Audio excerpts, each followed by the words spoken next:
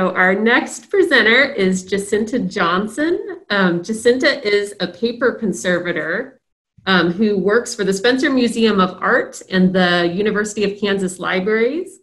Um, so becoming a professional conservator, there's a lot of education involved in that, but there are things that you can do at home to take care of your, um, your own special items. And so Jacinta is here to help us learn more about how we can conserve our family heirlooms. So Take it away, Jacinta. Great, thank you. Can everyone hear me all right? Yes. All right, great. Well, uh, thank you for the introduction, Melissa. Uh, like she said, I'm a paper conservator working at the University of Kansas through a collaborative conservation initiative that's funded through the Andrew W. Mellon Foundation. And it's through this initiative that I complete treatments for works on paper for both KU libraries and the Spencer Museum of Art.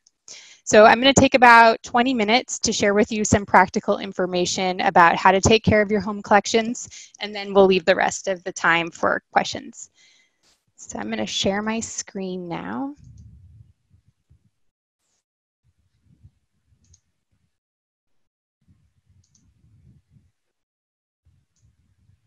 All right.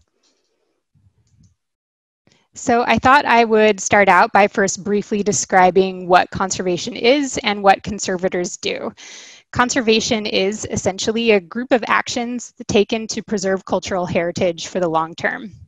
And I've attached some of my favorite pictures of that really summarize a lot of the activities that I do as a conservator. Uh, we perform examination and treatment. So you can see in this picture on the far left, I'm using a microscope to look more closely at a print and documentation really involves a lot of things. We write a lot of written reports that describe the object and its condition. And then we also document objects photographically, especially when we perform treatment. So we take a picture of the object before treatment takes place and then again after. And as I said, um, we do treatments. And so what that means is sort of a direct intervention. Um, either mostly it's a repair um, that's done to an actual work of art. Um, in this second picture, I'm performing a tear mend on a hokusai print of the wave. Um, and the, the treatments are often um, a discussion with many people. So we don't just perform them on our own as conservators for an institution. It's a discussion with a curator, or if we're working in private practice, it's a discussion that we have with the owner to talk about what materials we're planning on using and, and what the outcome will be.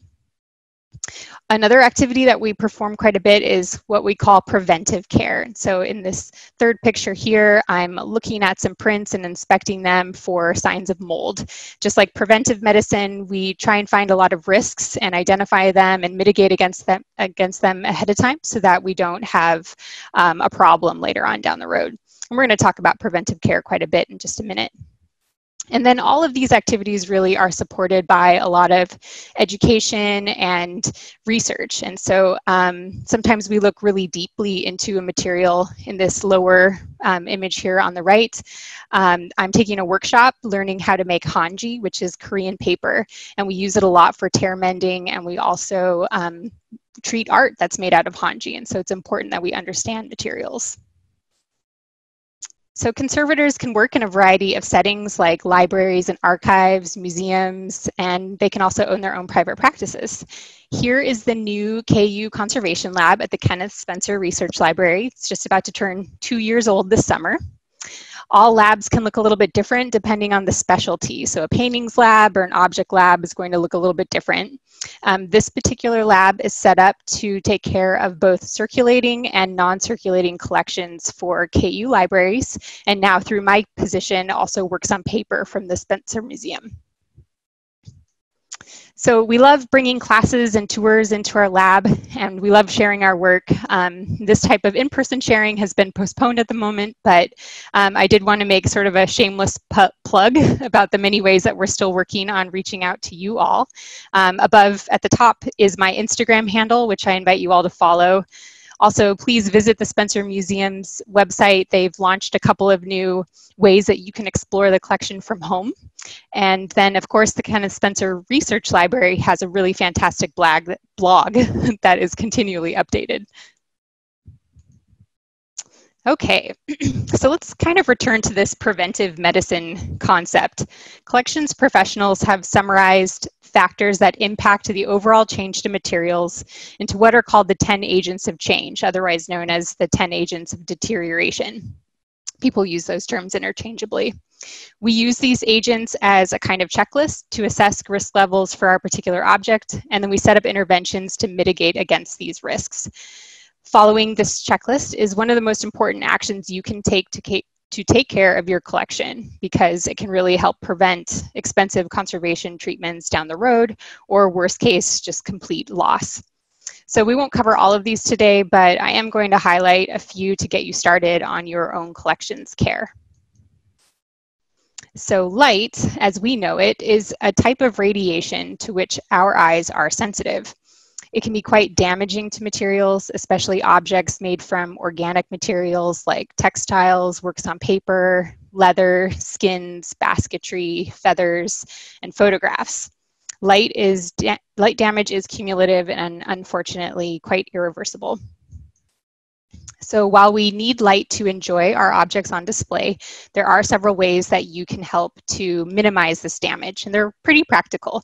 When you're displaying your object, just try and keep them away from windows, or if they are in front of windows, close your blinds or close your shades when the light is coming in directly during that time of the day.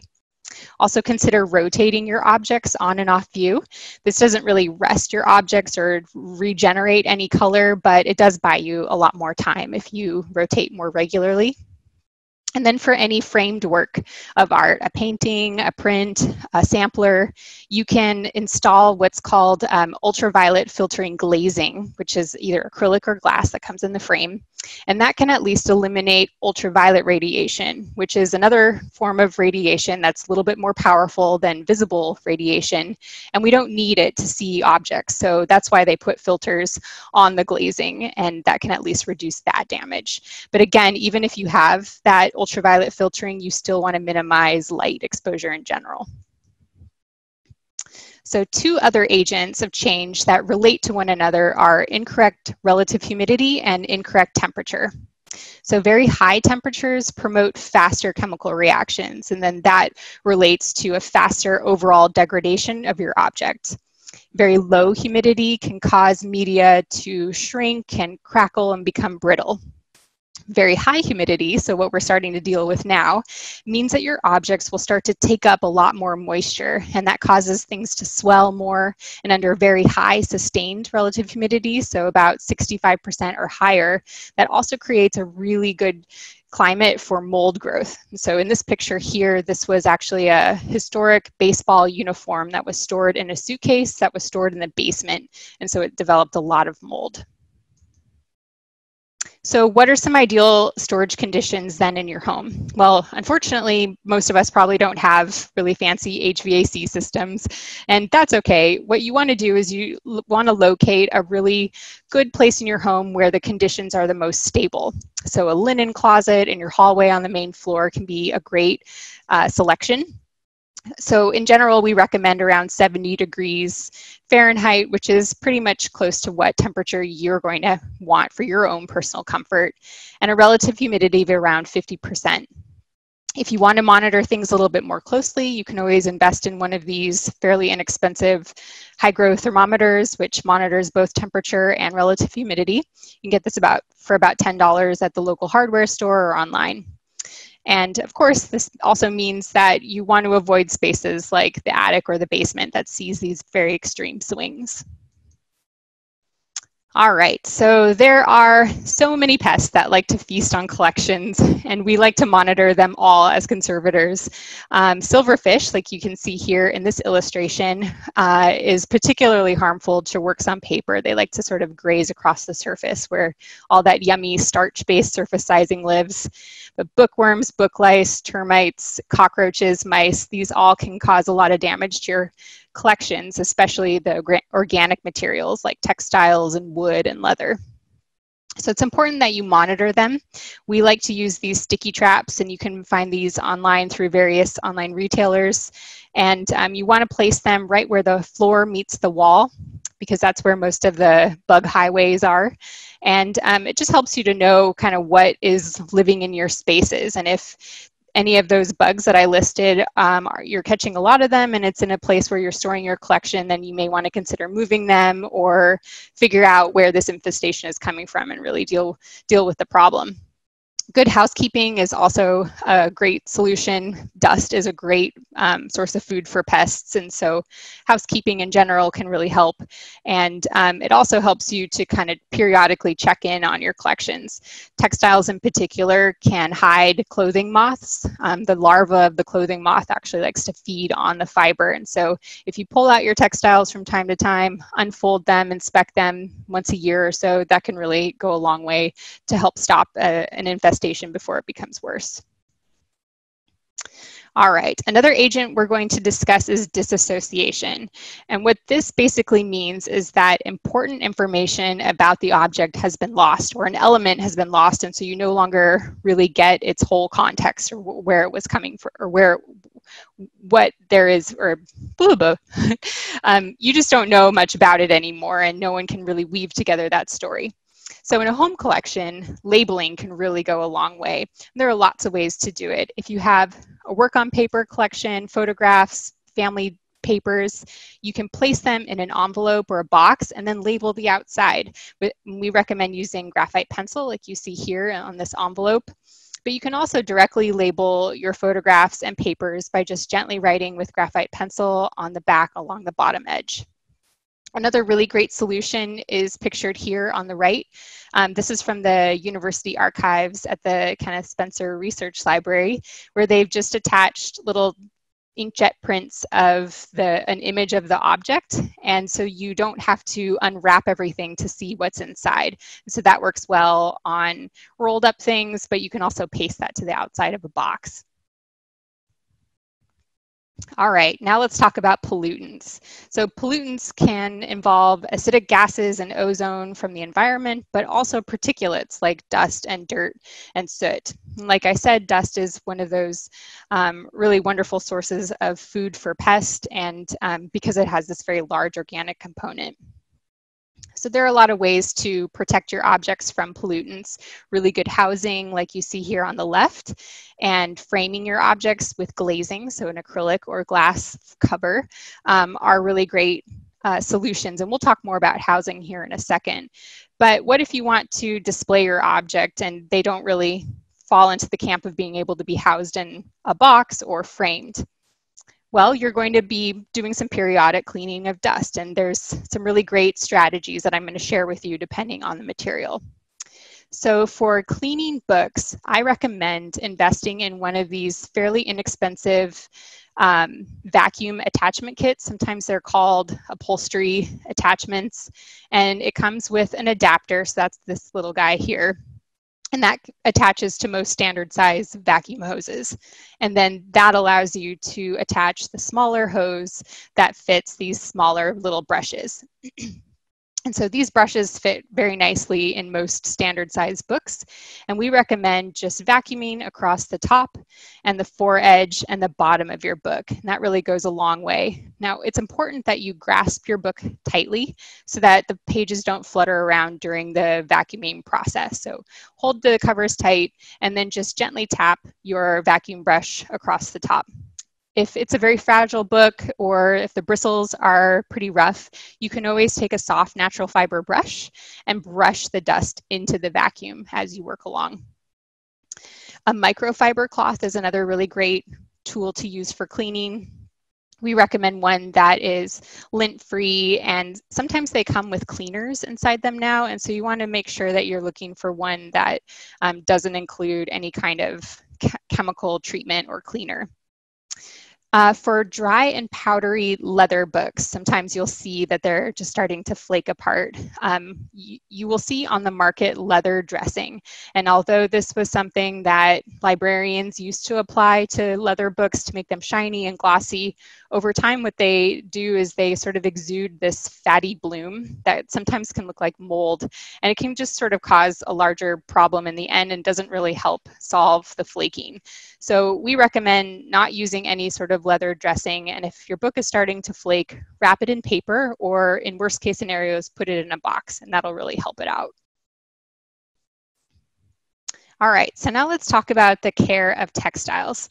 Now this kind of opens up a larger discussion about how you're using all of these objects. If this is, if you're trying to wash a quilt and you've washed it many times before and you feel comfortable doing it, um, I don't want to prevent you from washing it again. But if there is a textile that you haven't washed before, um, I don't recommend washing it. There's a lot of um, variables that can enter into a, washing a, a, garment. Dyes, for example, can bleed and that can really cause irreversible damage. So in general, we don't really recommend that you wash anything, but vacuuming can be another really great strategy. If you have an heirloom textile that you believe requires cleaning or mending, we recommend that you contact a textile conservator or high-end dry cleaner for further guidance. But let's talk about the vacuuming because that is something that you can do at home. And again, it uses one of those little attachment kits. And for objects that are like rugs or quilts, you'll see here on this picture on the left that you just take a simple screen and place it over the top, and then you can just gently tap your brush down the edge. And that really helps to remove a lot of the dust without sucking up your textile into the vacuum at the same time. If you have something that's even more fragile or there's components that you're worried about losing, you can always take, again, a natural fiber brush and brush the dust in towards the vacuum. And we recommend that you cover up the nozzle with a little bit of cheesecloth or screen. And that way, if you do accidentally detach something, you don't lose it in the vacuum. So other general dusting guidelines really depend on the security of your object. For paintings, you can use one of these brushes that I was talking about. It's called a Hake brush. And um, I gave Melissa a handout kind of last minute, so I'm hoping I can distribute it to you all. But we have a whole list of vendors that supply a lot of materials that you can purchase online. And I have a link to this Hake brush and so I'll make sure that you guys get that resource. But this is a really great tool for dusting paintings. You'll just want to be sure that the surface is very secure. If you see bits that are flaking or really extreme impasto, I'd recommend maybe just bringing that to a paintings conservator so that they can clean it in a different way. But dusting can really help to take care a lot of a lot of the bulk material. You just start at the top and just gently sweep the dust downward. You can do the same technique with ceramics and metal cloths. If it's a smooth surface, a stable ceramic, for example, like the one pictured here on the left, a microfiber cloth will work just fine as well. All right, so now let's talk a little bit more about storage strategies. So plastic bags and acidic paper and cardboard shoe boxes, we all find them in our home. This picture on the far left are some cardboard boxes filled with photos that I am working on sorting through during this quarantine. Um, but they're really not ideal storage containers for long-term storage. They can really um, exude a lot of acidity into your objects and in the case of these plastics, plastic bags, they can actually leach a lot of fillers um, into your objects, so we don't recommend them. What we do recommend are storage materials that have a couple of different qualities that I'm going to talk about. And again, um, the vendors that are on this handout I'll send you uh, will offer a lot of these materials. But as you're shopping around, you're going to want to look for two key terms, and that is that the box is lignin-free and alkaline buffered.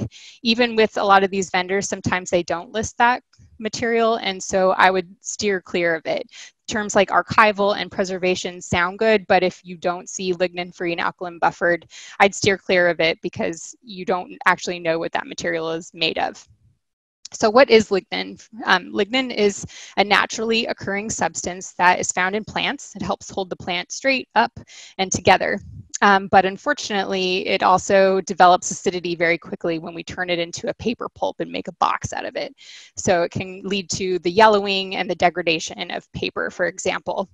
So they remove the lignin and they also then add an alkaline material. It's usually calcium carbonate. And what that does is it increases the pH of the pulp. And um, over time, as that box ages, it kind of buffers against that, that aging and buffers against uh, the natural acidity that builds up. So lignin-free and alkaline buffered is what you want to look for for all of your storage materials.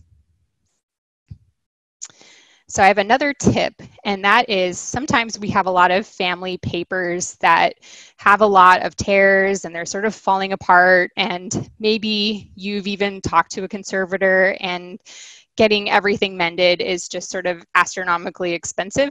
And I understand that that's, you know, just not always feasible. There are some good solutions around it. Tape is not one of them. Steer clear from ta- of tape. Even archival tape can really cause a lot of problems. What I would get instead are these polyester L sleeves. So it, Mylar is the trade name for them. And an L sleeve just means that it's two sheets of this polyester that have been welded together on the top and the bottom, but you can use them really anyway. And this system kind of has a natural static charge to it. So when you put your document in, um, even if it's very fragmented, it'll really help to hold it all together. And this is a really great solution to anyone who maybe grew up, including myself, with a lot of lamination. Definitely don't want to laminate your objects. It's incredibly difficult to reverse. I've done lots of treatments where I've removed lamination. It's very expensive, it's very time consuming, and the solvents that we use are not good for the environment. So steer clear of lamination. And get these great L sleeves that you can find at various vendors. So I know we have a lot of quilters in our community, and maybe you also just have a really fantastic textile that you want to store. And I thought I would conclude by sharing um, some basic tips on how to store your quilt.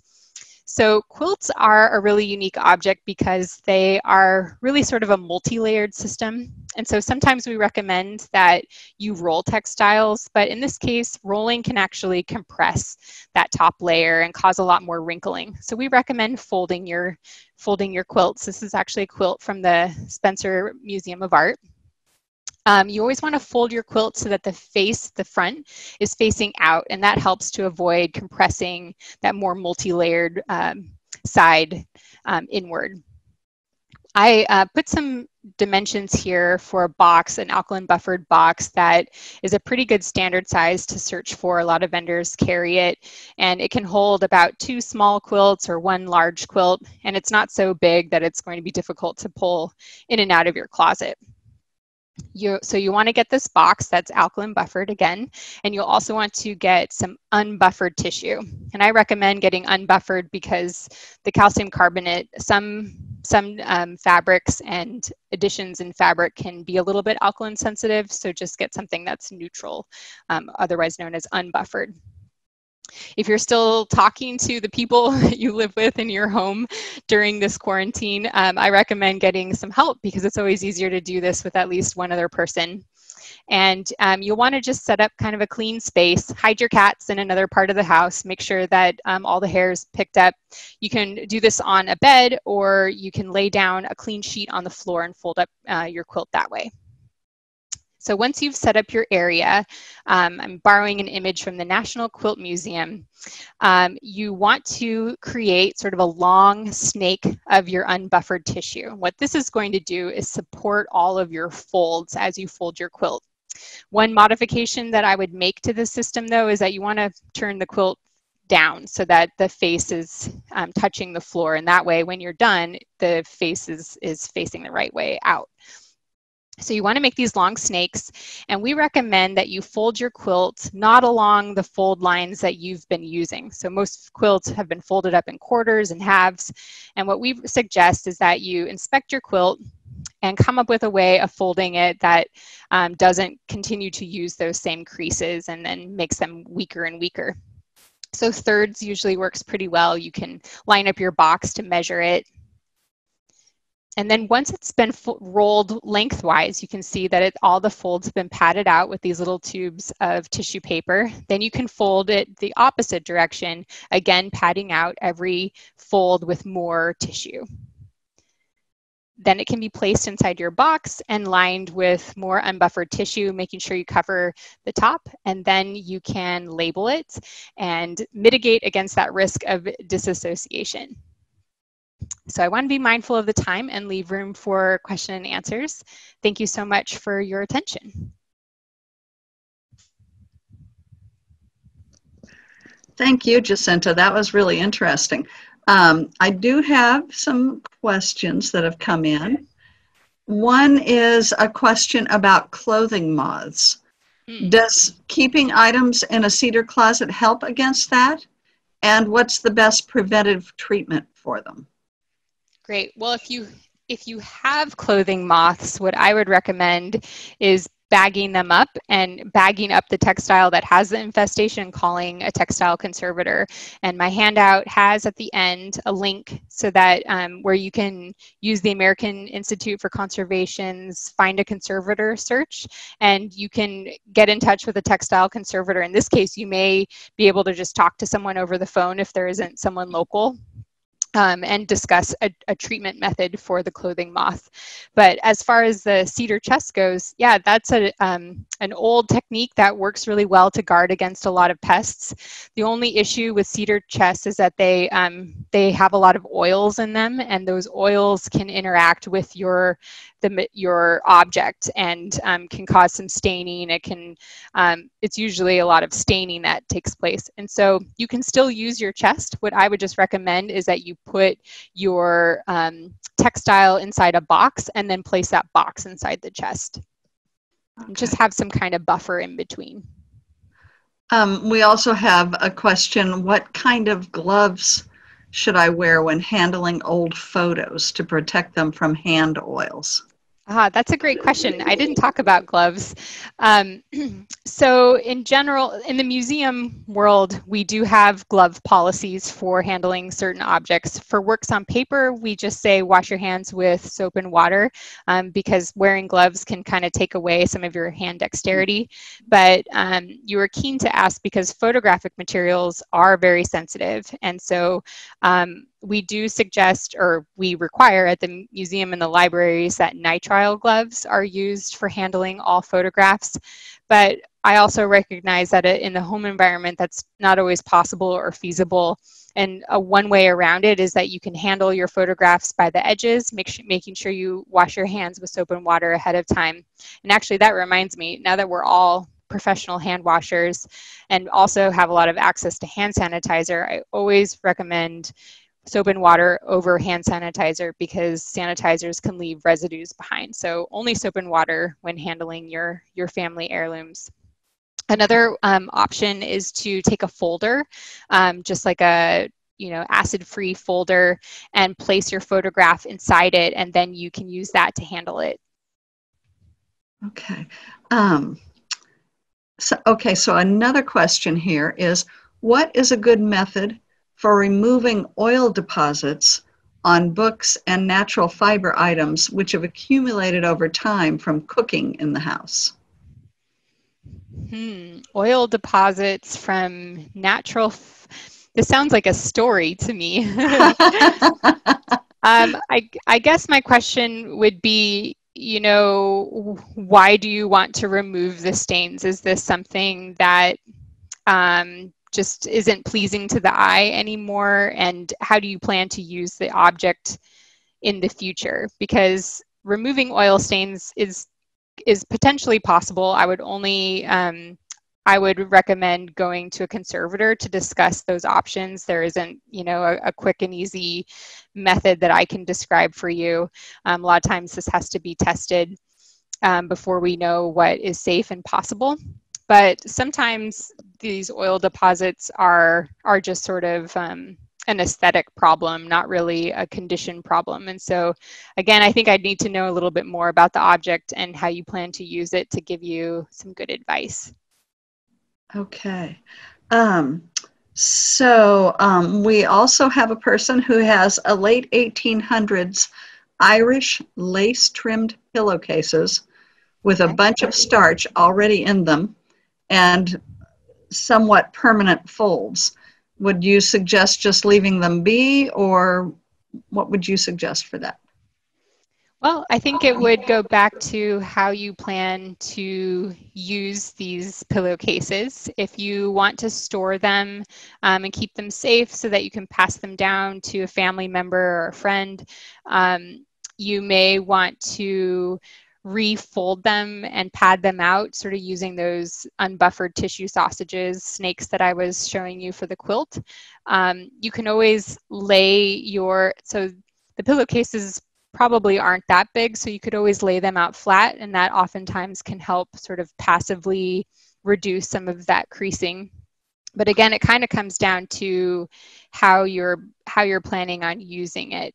Um, sometimes um, some gentle steaming can work, but again, I think that would be a good conversation to have with a conservator because there might be some elements that are quite sensitive to um, to be aware of before you go and do that. But um, a lot of this, um, conservators are getting really good at using Zoom now. So um, I'm hoping very much that I can get this handout to you all. It also includes my email address. So if you, I know some of these questions we weren't really able to fully flesh out. So if you want to continue the conversation, feel free to email me. And I'll stick that in the chat too, actually, just in case. That would be great. Okay, um, I think that pretty much wraps it up. Thank you very much. That was really informative and interesting. I have a whole list of questions I'd like to consult you about at some point in the future.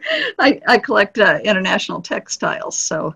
Oh, wonderful. Uh, yeah. I know it's such a short period of time, it was hard to decide what information to share, but right. Um, I hope this will, will give you all a starting place.